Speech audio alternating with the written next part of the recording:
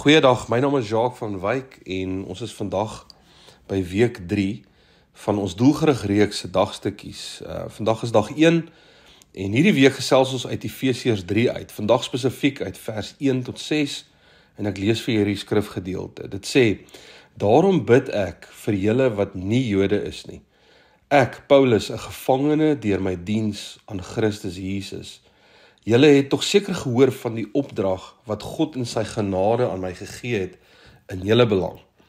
Hy het sy geheimenis deur 'n openbaring aan my bekend gemaak, soos ek dit hierbo kortliks beskryf het. En as julle dit lees, sal julle 'n begrip kry van my insig in die geheimenis van Christus. Nog nooit van tevore in die geskiedenis is die geheimenis aan die mensdom bekend gemaak soos God dit nou deur die Gees aan sy heilige apostels en profete geopenbaar het nie.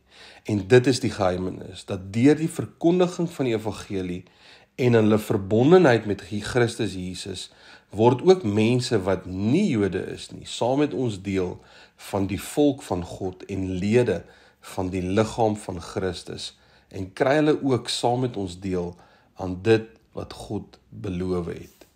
In hierdie gedeelte praat Paulus van hierdie geheimenis wat nou geopenbaar is aan ons en dit is die goeie nuus die feit nie net dat God hierdie belofte het dat sy liggaam net uit Jode uit sal bestaan nie maar dat in elkeen wat in hom sal glo sal deel hê aan sy belofte sal deel hê uit sy aan sy liggaam so ons ek en jy wat vandag na hierdie luister ons is nie Jode nie en die goeie nuus is dat Christus dit oopgemaak het vir almal vir elke persoon wat daarin sal glo En so wanneer ons ewen dink aan ons lewensdoel um in hierdie reeks oor doelgerig en wat my doel op aarde is, um kan ons besef vandag dat dit is in God se groter plan waarin ek my doel ontdek. God het 'n groot plan om te sien dat hierdie wêreld nuut gemaak sal word. God het 'n groot plan om te sien dat sy belofte sal waar word vir dit wat hy droom en wat hy uh, beplan vir hierdie wêreld en vir ons lewens en dat ek en jy onsself kan belyn in sy plan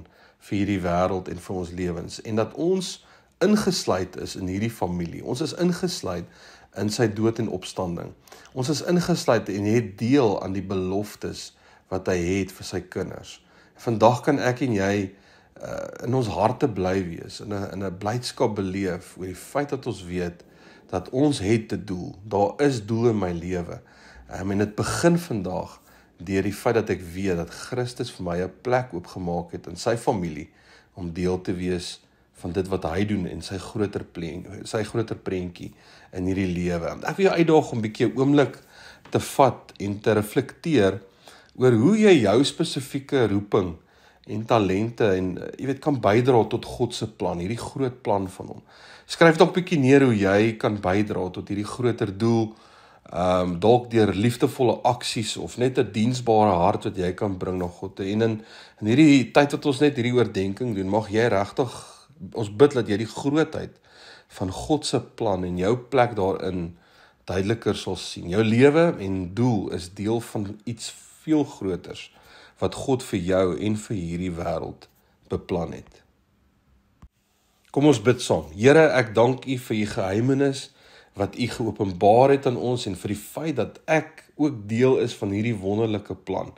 Help my om te verstaan, Here, dat my doel in u plan vervat is en dat ek 'n belangrike rol speel in die groter prentjie van u droom en van u plan. Gee my die wysheid en en om my roeping in u koninkryk te vervul en u liefde aan mense om my te demonstreer. Ons sê vir dankie daarvoor in Jesus naam.